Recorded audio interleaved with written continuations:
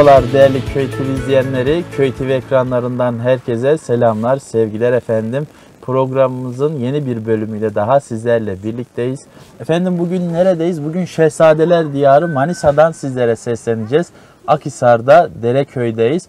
Neler konuşacağız? Bugün zeytin hasadı üzerine, hasat makineleri üzerine bir muhabbetle sizlerle birlikte olacağız. Yanımızda Çınarlı Makine'den e, firma sahipleri e, Ersoy Bey ve Ali Bey bizlerle birlikte.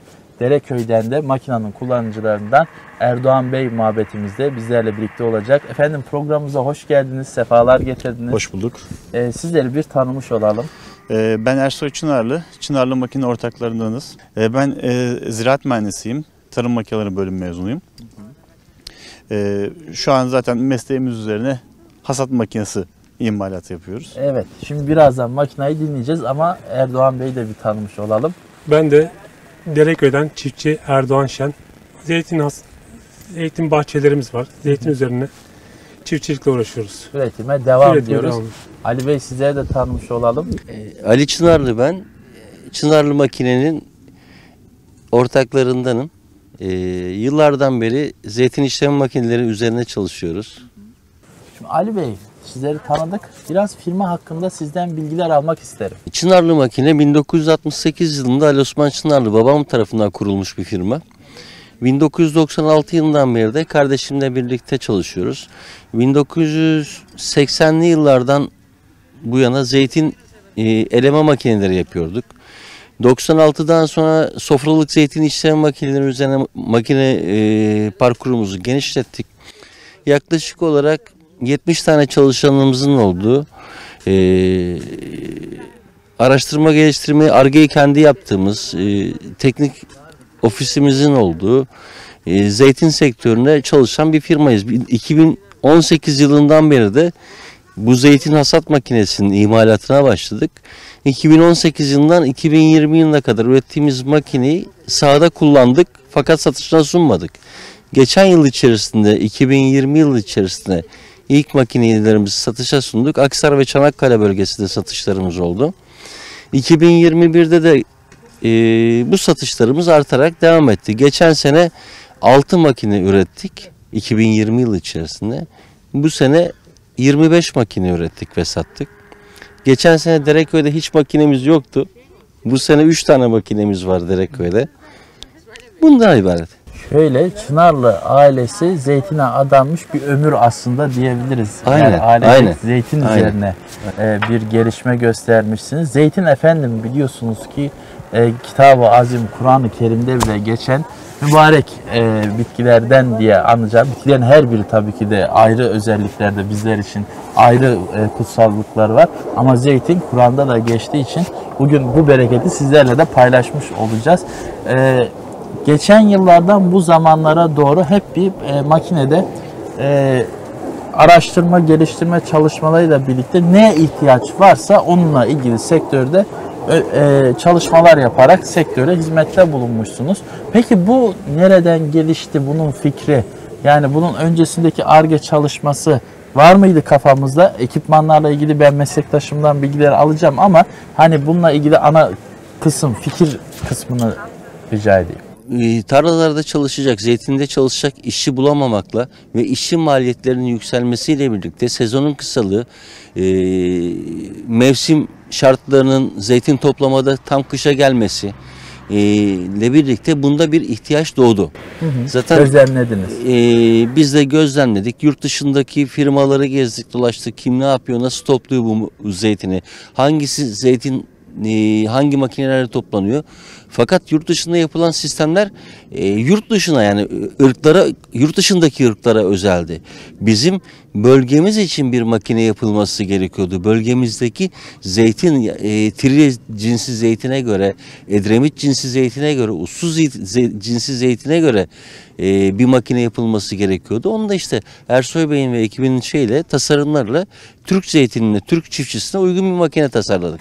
O zaman biz sözü bir Ersoy Bey'e vermiş olalım. Makinayı tanıyalım. Sonra da kullanan Erdoğan Bey'e dönmüş Teşekkür olacak. ederim sağ olun. Biz teşekkür ederiz. Ersoy Bey. Efendim e, makinanın fikir kısmını biz Ali Bey'den az biraz Evet. dinledik. Şöyle ki bir ihtiyaç gözlemlenmiş. Çiftçilerimizin bu konuda sıkıntı yaşadığını gözlemlemişsiniz.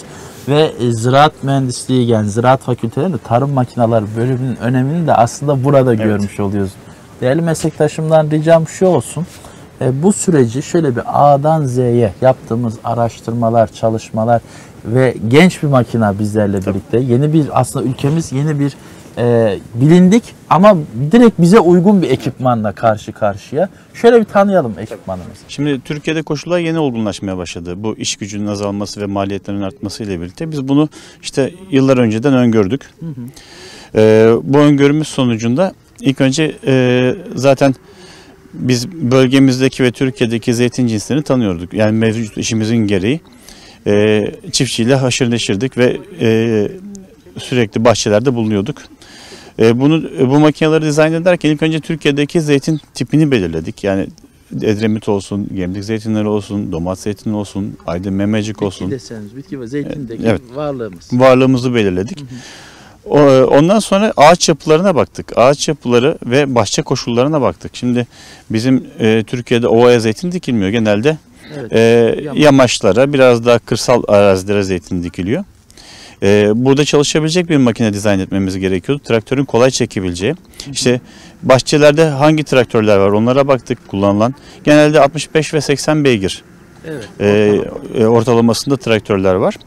Biz de makinamızı e, bu e, 65 beygirin çalıştıramayacağını biliyorduk. 80 beygir ve üzeri traktörlerde kullanılabilecek bir e, hale getirdik. Çünkü hem traktörün güçlü olması lazım hem traktörün ağırlığının da iyi olması lazım makine taşıyabilmek için. O yüzden 80 beygirlik ve 90 beygirlik traktörler bu konuda ideal traktörler. E, traktörü belirledikten sonra e, hangi model makine yapmaya yapacağımıza karar verdik. Bu da neden? Şimdi traktörün önüne takılabilirdi makine, giydirilebilirdi. Arkasına şu an bizim yaptığımız gibi 3 nokta askı sistemine bağlanabilirdi. Biz burada traktörü de en rahat kullanabileceğimiz, makineyi de en rahat kullanabileceğimiz şekil olarak arkadan bağlantı yöntemini seçtik. Çünkü burada sıra arasında traktör düz gidiyor. Makine bir sağ bir sol ağacı kendi manevrasıyla yani kendi kol hareketiyle yapıyor. Bu da İki sıraya birden hakim. İki sırada birden hakim oluyor. Traktörün arazinin içerisinde geçim, gezmesinde e, gezmesini sağlamıyor. Hatta bugün de çok güzel bir gün o konuda. Yağmurdan sonra topladığımız bir zeytin var. E, tekerlekleri görüyorsunuz çamura batmış. Yani traktörün bu arazide manevra yapması çok mümkün değil. O yüzden bir bu modeli seçtik ve bir insan kolu gibi düşünün bizim makinamızı. İnsan kolunun yaptığı el bilek hareketleriyle birlikte her hareketi yapar. Ee, 60 santime kadar olan gövdeleri ana gövdeden sallar. 60 santimden büyük olan gövdeleri de ana dallardan tutarak sallayabilen bir makinedir bu. Bu sebeple çok esnektir. Hem gövdeden sallanmaya hem de büyük ağaçlarda ana dallardan sallanmaya müsait bir makinedir. Şöyle şimdi bizim aslında robotik bir elimiz olmuş. Aynen öyle. Yani tasarıma baktığımızda yani hasatlarda bizim uğraşta verdiğimiz o mücadeleyi robotik bir el sayesinde daha güçlü bir yapıyla ve e, o ağacımıza, bitkimize de zarar vermeyecek Aynen şekilde. öyle. Çünkü e, hasatlarda efendim biliyorsunuz yani bir yıllık emeğin karşılığını alıyoruz. Yaptığımız uygulamalar bir sonraki yılın verimini de etkileyecek çalışmalar olduğu için e, bu hasat kısmı dikkat edilerek yapılması gereken en son nokta. Yani emeğimizi alırken, ekmeğimizi kazanırken bir sonraki yılın da altyapısının olduğunu hiçbir zaman unutmamamız gerekiyor. Şimdi burada e, lafınıza şunu ekleyeyim. E, biz uzaktan kumandalı bir makine yaptık. Burada ağaca değer veriyoruz çünkü önemli olan makine değil ağaçtır. E, uzaktan kumandayla ağaca en yakın noktadan müdahale edebiliyoruz. Operatör ağacın direkt yan Tabii. yakınında. Şimdi bakın burada e, çekimlerde de görülmüştür. Zeytin ağaçları özellikle gemlik tipi zeytin boğum boğumdur. Yani düz bir gövdesi yoktur Evet. ağaç yapısı itibariyle. Makinenin e, çenesi ağaca ne kadar uygun tutarsa, ağacın açısına ne kadar uyarsa o kadar verimli toplama sağlanıyor ve gövde hasarı hiç olmuyor bu sebeple. O yüzden uzaktan kumanda çok önemli. Şimdi bu kumanda yapısıyla birlikte operatörümüz ağacı tam görüyor. Tabii. Makinayı tam bir şekilde kavramasını sağlıyor. Aynen öyle. Hani en doğru nokta dediğimiz yani ne çok aşağıda ne çok yukarıda açı e, denk gelecek şekilde Evet. ve e, peki bu e, uzaktan kumanda sayesinde dedik de yani e, kullanım bakımından e, karmaşıklıkta bir durum yok gözüküyor. Şimdi burada Şerif Bey kullanıyor kumandayı zaten. Biz ona yarım günlük bir eğitim verdik burada bahçede. Bu kadar da kolay. Yarım günlük eğitimden sonra bir gün yalnız bırakıyoruz. Bir Er- uğraşma olsun. Bu, kendi öğrensin, ezberlesin yerlerini diye. Ertesi gün bir daha ağaçların başında e, bir eğitim veriyoruz. Bir hafta sonra zaten bizden iyi kullanır halde geliyorlar. E, biz onlar kadar artık tecrübeli olmuyoruz. Çünkü biz atıyorum haftada 10 ağaç silkelerken onlar günde belki 200 ağaç silkeliyorlar. Evet. O yüzden makinede kullanımı rahat. 4 tane joystick var üzerinde. 4 tane joystickle e, makinenin bütün hareketlerini kontrol edebiliyorsunuz ve bunlar e, oransal dediğimiz bir sistem. Yani joystick'i ne kadar ileri ittirirseniz o kadar hızlı hareket eder. Bu sebeple e, makine ağaca yaklaştığı zaman hassas hareketleri de e, rahatlıkla yapar bu e, kumanda sayesinde. Yani direkt müdahalede hani gecikme gibi bir şey direkt anında Tabii, bu- tabii, tabii. buradaki hareketlerimize göre makinede direkt anlık Tabii, o tabii, anlık. hareketleri yakalamış oluyor. Hatta dediğim gibi biraz önce bahsettiğim gibi hassasiyetinden bu joystick'i ne kadar az ittirirseniz o kadar yavaş, ne kadar çok ittirirseniz o kadar hızlı hareket eder. Bu da kullanım kolaylığı sağlar zaten. Evet. Yani e, efendim ekipmanlar tabii geliştikçe nasıl bu akıllı telefonlar çıktığında tuşlulardan dokunmatiklere geçtik böyle acaba nasıl olacak dedik. Şimdi e, bizim o tarafların deyimiyle diyelim büyüklerimiz de kocamanlar da diyorlar bizim yörükler. Kocamanlar bile bizim büyüklerimiz de onları kullanır hale geldi. Zor bir şey değil. Teknoloji güzel nimet efendim. Yani yaşadığımız sıkıntılarda her yıl geçtikçe bizlere artı kolaylıklar sağlıyor. Nimetinden faydalanmak gerekiyor. Ayrıca ben şunu da eklemek isterim. Şimdi Buyurun. biz işe zeytinle başladık. Bizim firmamız zeytin işleme makineleri imalatı yapan. Yani hasadından ambalaja girinceye kadar makine imalatı yapan bir firma. Ama bu makine sadece zeytin için kullanılan bir makine değil. Universal bir makine. İşte e, geçtiğimiz sezon badem çiftçilerine, ceviz çiftçilerine bu makinelerimizi verdik. Abi bir dakika şimdi bu, bu çok güzel oldu. Şimdi bir taşla birden fazla kuşumuz oldu. Yani sadece zeytincilere buradan seslenmiyoruz. Aynı zamanda Tabii ceviz, badem, antep fıstığı, endüstriyel vişne hasatlarında. bizim Malatyalılara da buradan müjde verebilir Tabii kayısı. Kayısı da tabii ki. Kayısıda da varmış. Yani bir ürünü silkeleyerek toplayabildiğimiz her ağaç bizim makinemiz için uygundur. Hasatta titreşimli bir şekilde indirebileceğimiz olan bütün ürünlerde Evet. burada biz e, varız diyorlar. Hatta biz kendileri. benzer makinelerin yurt dışında endüstriyel elmada, portakal gibi ürünlerde kullanıldığını da gördük. Daha henüz bizim Türkiye'de bir deneyimimiz olmadı bu konuda ama Evet. ceviz, badem, antep fıstığı, kayası gibi ürünler bizim için hedef ürünler zaten şu an için. Ya şu var, e, bir güzel bir ekip oluşmuş. Şimdi anlatımlardan çıkardım ve e, dışarıyı gözlemlemişsiniz. Hani diyoruz ya Eloğlu neler yapmış diye. Efendim irdelemişler. Ondan sonra kendi varlığımıza bakmışız. Bunun bize uygunu ne olur gibisinden.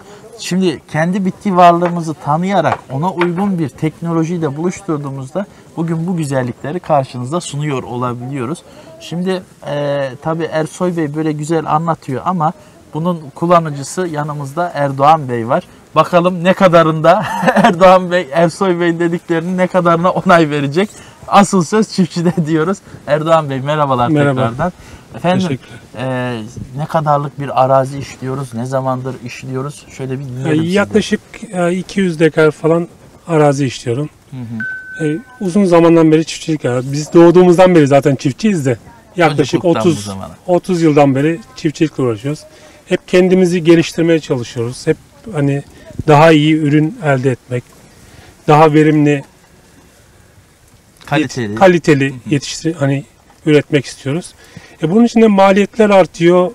işçi bulamıyoruz. Ha bu son zamanlarda Çınarlı makine, makineye teşekkür ederiz. Bu makineyi bize sağladıkları için bir de Tarım Bakanlığı da hibe olaylarından dolayı Hı hı. Şimdi onları açacağım birazdan. Evet. Bu önemli bir Hı hı. detay çünkü. Ama şunu diyeceğim. Şimdi e, Erdoğan Bey burada e, Dereköy'de önemli. Neden? Köylülerimizde ne diyoruz hep bir merak var. Araştırmalar yapıyoruz. Kendisinin ifadeleri çok güzel. Diyor ki daha kaliteli, daha güzel, verimli bir şekilde ben üretim yapmak istiyorum diyor. Ve bunun için araştırmalar var. Yani araştır sorgulayan çiftçilerimizden biri. Dereköy'de de öncü çiftçilerimizden biri bu ekipman konusunda. İlk kullananlardan çünkü evet. kendisi. Hatta oğlumu da yetiştirdim ziraat mühendisi. efendim Orlu da e, aynı okuldanız. Fakülteden benim aynı zamanımdan Naim. Ona da buradan selamlarımızı iletmiş olalım. E, birlikte e, bu meslek adına eğitimlerimizi aldık. Bugün sahada da kendisinin bahçesinde, kendisi burada ama babasıyla muhabbette bulunmak nasip oldu. Şimdi e, bu makineden nasıl haberdar olduk? Şimdi bugün e, sevinçli bir gün, hasat günü, bayram deriz çiftçiler Evet. için, bereketli olsun. Bu bereketin kolay bir şekilde indirilmesi adına nereden bilgi aldınız da bunu duydunuz? Ya biz araştırıyorduk. Şimdi hep işçi sıkıntısı var diyordu. Hani bir an önce ürünümüz bu kış meyvesi. Hani bir an önce toplanılması lazım. Araştırıyorduk. Sağ olsunlar hani ilanlarda şeylerde zaten Çınarlı makineyi daha önceden tanıyorduk. Ama işte bu yıla nasip oldu. Bu yıl makinamıza sahip olduk yani. Şimdi Çınarlı makineyi duyduk. Tabii insan bir acaba ne yapmışlar, nasıl yapmışlar Evet. diye. İlk diyaloglar nasıl oldu? Gittiniz, nasıl bir karşılaşma? Direkt e- e- Ersoy Bey size bu şekilde anlattı mı yoksa ne yaptı? Bir çekince Ya. oluyor şimdi. Oluyor ama şimdi büyük hani daha önce eski firma olduğundan tanıyoruz şimdi. Zeytin elektrikleri vardı. Onlardan daha önce alışverişimiz oldu. Hani Ali Bey'le daha önceden tanışıyorduk. Karşılıklı güvenimiz vardı. Evet vardı.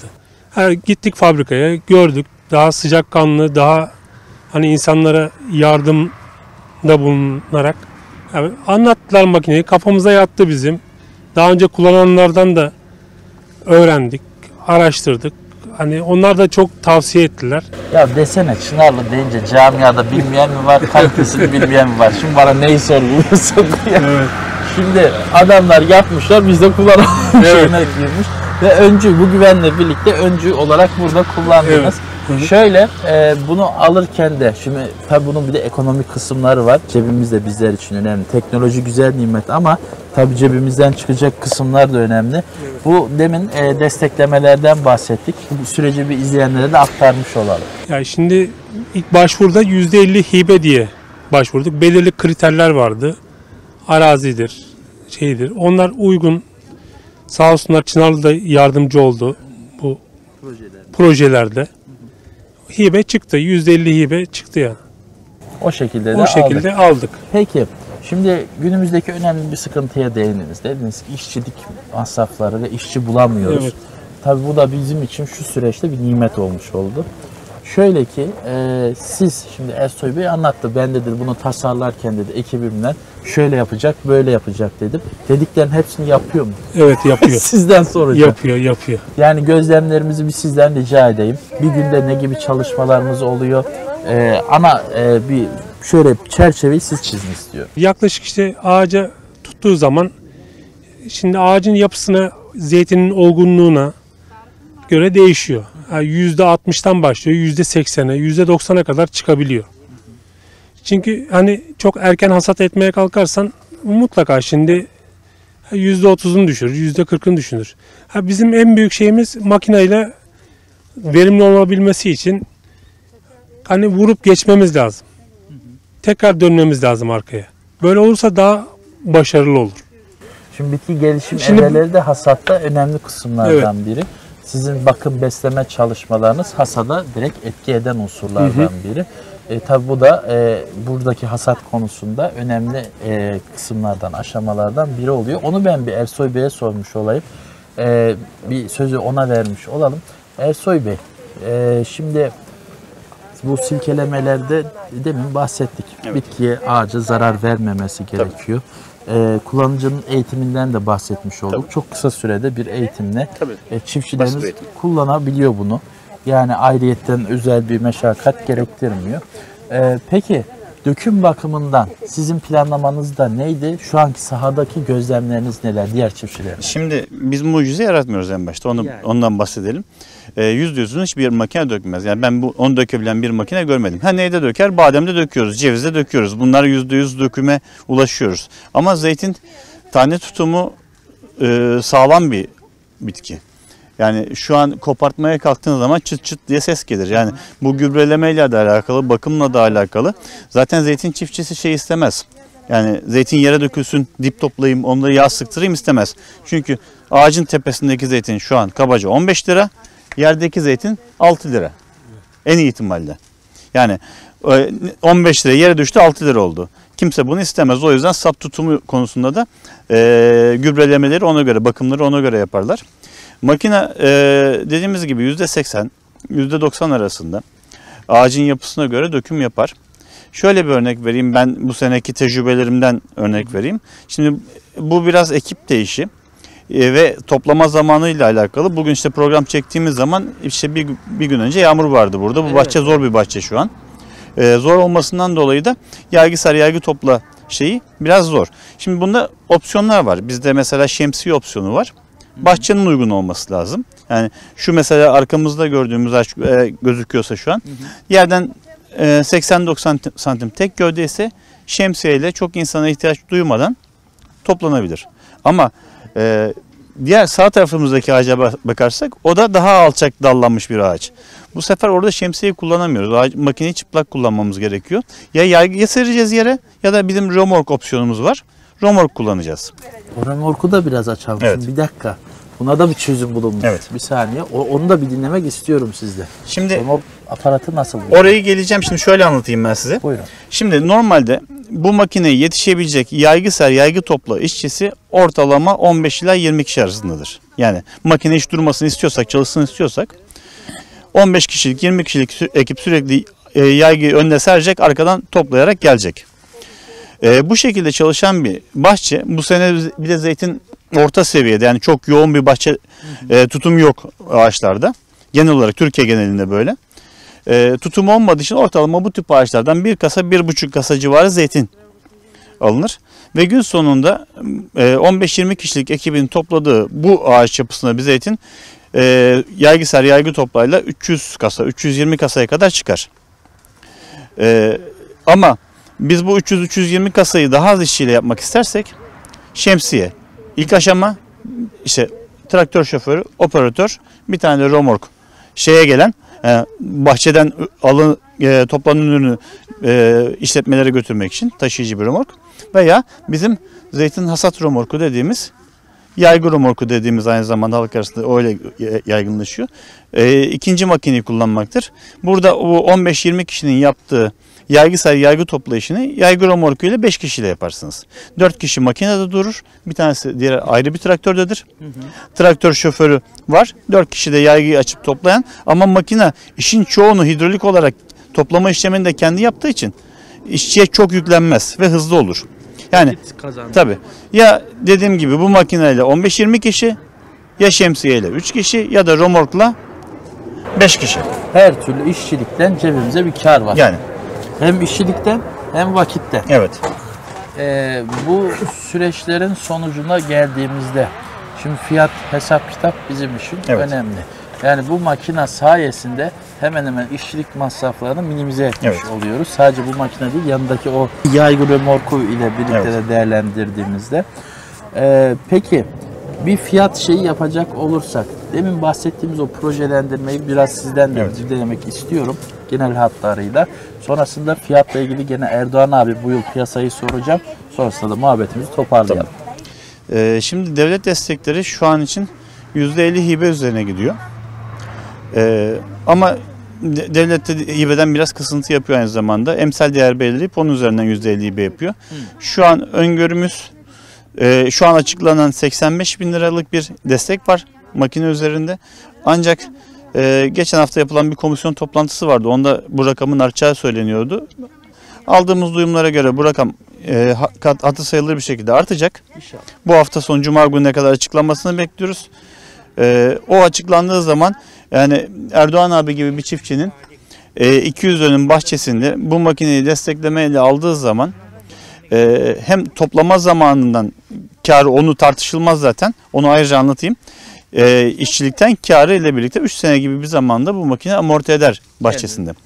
Ama işçilikten hariç başka bir şey daha var. Bizim Akisar bölgesi özellikle don yapan bir bölge. Evet. Yani biraz önce ağaçtan zeytin düştüğü yere o- on- 15 liradan 5 liraya düştü ya. Şimdi donda da benzer bir durum oluşuyor. Yani önemli olan zeytini don görmeden, zarar görmeden hızlı bir şekilde toplamak.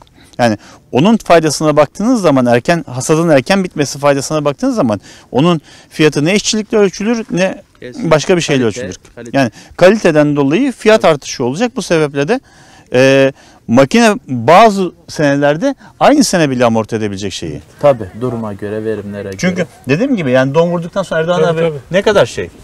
Yani Ee, don vurduktan sonra yağlık parasına gidiyor yani zeytin. Direkt Direkt otomatikman. otomatikman yağlığa gidiyor. Peki bu yıl piyasalarda durumlar nasıl? Erdoğan Bey. Fiyatlar fena değil. Zeytin üreticisi yüzü güler mi bu yıl? Ya zeytin üretisinin yüzü güler de ama zeytin az bu sene. Hmm. Çok aşırı bir zeytin yok. E, azın getirdiği de şöyle bir piyasadaki oynama illaki olacak. E, Yani mutlaka. Tabii arzdaki e, arz talep dengesindeki durum e, pamuktakilerin yüzünü çok güldürmüştü. Yani epey gü- güldürmüşseme vardı. Şükür ettiğimiz bir ekonomik durum oluşmuştu. Umarız ki zeytincilerimizin de bu yıl İnşallah. yüzü gülmüş olur. E, siz son olarak ekipmanla ilgili izleyenlere bir kullanan olarak tavsiyeleriniz, önerileriniz varsa onları rica edeyim. Valla tavsiye ederim. Şimdi mutlaka hani bu makine hiç ama 10 kişinin yaptığı işi yapıyor. En kötüsü ya. 10 kişinin yaptığı işi yapıyor. Ha, belki fiyat olarak yüksek olabilir ama bu çiftçilerimiz birleşerek de alabilir bunu. 4-5 çiftçi, 4-5 aile veya tabii birlikte kullanabilir ya. Bu şekilde diyoruz. Evet. Teşekkür ediyoruz verdiğiniz bilgiler Biz için. teşekkür ben ederiz. Ersoy Bey'e bir kez daha söz vereceğim. En son Ali Bey ile büyüğümüzle programı kapatmış olacağız. Ee, şimdi Ersoy Bey aslında fiyat bakımından e, ben evveliyatında şöyle bir baktığımda hani benzer ekipmanlara göre aslında sizin fiyatlarınız biraz daha aşağıda. Tabii çiftçilerimizin alım gücüne göre değişir Evet. bunlar ama Evet. e, yani e, diğer firmalarımıza nazaran e, bu fiyat bakımından bir minimize var aslında sizde. Onun püf noktası sırrı nereden geliyor diye sorsak. Şimdi şöyle, e, şu an Türkiye'de bu konuda ciddi imalat yapan tek firma biziz bildiğim kadarıyla. Yani ben karşılaşmadım şu şu an bizim gibi makine imalatı yapan e, ve adetli satış yapabilen, adetli üretim yapabilen bir firma görmedim. Küçük küçük firmalar birer tane yapmışlar, durmuşlar. Ama devamı gelmemiş. Yurt dışında imalatçılar var. Yurt dışındaki imalatçılar neredeyse bizim e, bir buçuk iki katımız fiyatlara mal ediyorlar. Bunu e, satıyorlar daha doğrusu Türkiye'de. Sebebi ne? Distribütör karları, nakliye masrafları, gümrükleme masrafları ya da Avrupa'dan geliyor Avrupa'daki işçilik maliyetlerinin yüksek olması. E, bizim en büyük avantajımız burada Avrupa'ya göre baktığınız zaman nakliyemiz yok. E, biz makinenin tamamını üreten bir firmayız. Bizim üretim altyapımız Avrupa'daki firmalar gibi değil. Avrupa'daki firmalar birkaç tane küçük firma birleşip bir makineyi yaparlar, bir marka oluştururlar. Bizde A'dan Z'ye bütün parçaların imalatı bizim fabrikamızda yapıldığı için bir, zaten oradan bir avantajımız var. Avrupa'ya göre iş gücümüz ucuz olduğu için avantajımız var. Ve bu da işte arada bir e, komisyoncu, nak- e, distribütör veya kazanç sağlayan bir kurum olmadığı için avantajımız var. Direkt bir- fabrikadan. Tabii fabrikadan direkt halka üreticiye gidiyor. Şimdi çok önemli can alıcı bir noktaya değindiniz. Oluyor ki efendim sahada çalışma yapıyoruz. Makine arıza yaptı. Onunla ilgili sahada ne durumdayız? Çünkü bu en can alıcı kısmımız çok uzuyor süreç. Bizim için her gün değerli. Havayla yarışıyoruz. Evet. Ürünle yarışıyoruz. Şimdi makine en çok lazım olduğu zaman arıza yapar. o genelde hakikattir. en çok lazım olduğu zaman arıza yapar. O zaman o an burada olmamız lazım. Ee, biz zaten yıllardan beri servis veren bir firmayız. Bizim kendi servis ekiplerimiz, gezici ekiplerimiz var. Ee, bölgesel olarak rutinde ulaşanlar var. Acil e, servis taleplerine acil gidenler var. E, bu servis ekiplerinin bizim müşterilerle hep anlaşmamız şudur. Çok uzakta bir müşteri ise diyelim ki Adıyaman'da badem müşterisine verdik. Ya, arızasını bugün bildirse ertesi sabah biz oradayız zaten. Uzak olmasından kaynaklı.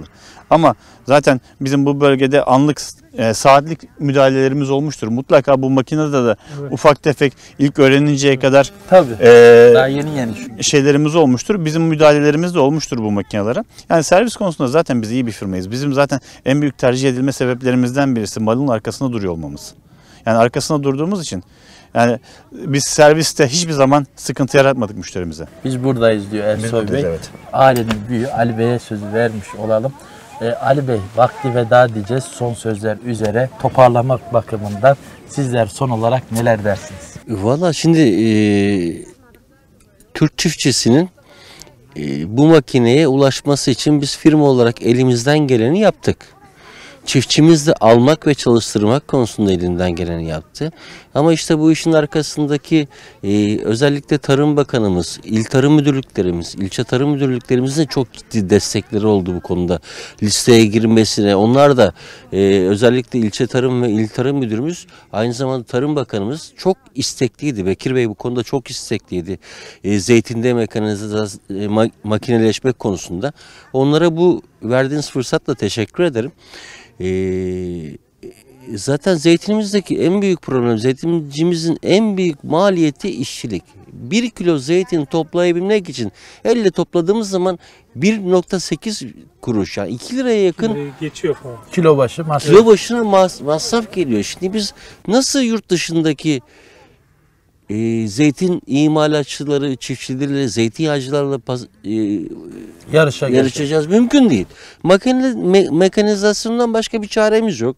İşte bu konuda hem devletimize hem çalışan bürokratlarımıza, sizlere, herkese teşekkür ederim. Bizler de teşekkür ediyoruz. Efendim e, ülkemizde yerli imalat bakımından biliyorsunuz benim bu huyumu da yerli malı yurdun malı deyince bende akan sular duruyor. E, ve sizlere onları takdim ederken de gurur duyuyorum yapılan çalışmalarla ilgili. E, tabii ki bu çalışmalar bizim gurur kaynağımız olduğu gibi yüzlerde de otomatikman bir e, tebessüm oluşturuyor. Yani e, Allah ihracat kısımlarını da inşallah başlatıp Amin. nasip etsin. Amin. E, öncelikle ama efendim Çınarlı ailesi, Çınarlı makine, tarım makineleri e, bizlere bu e, çalışmaları yapmışlar, ARGE çalışmalarını yapmışlar. Bugün bizler de sizlerle paylaşmış olduk. Kendileri bunu sizlere aktarıyorlar. Çiftçilerimizden Erdoğan Bey ben kullandım diyor. Dereköy'de 3 makine olmuş bile. Daha diğer köylerimize de nicesiyle tanışmanız dileğiyle diyelim. Ee, ülkemiz önemli bir zeytin üreticisi e, ülkelerden biri. Sadece zeytinde değil, demin bahsettiğimiz kayısıda olsun, diğer önemli stratejik ürünlerde de ülkemiz bu konuda önemli. Ee, bu konuda üretim aşamasından hasada kadar olan kısımlarda teknolojik ekipmanlar da bizler için önemli. Doğru tercihle kalalım, doğru kullanımlar yapalım, ülkemizin de bereketine bereket katalım diyelim. Bir programın daha sonuna geldik. Vakti veda diyoruz. Sizler sıhhatli, tarlanız, hayvanınız bereketli olsun. Köyde kalın, köy TV ile kalın. Köyde hayat var.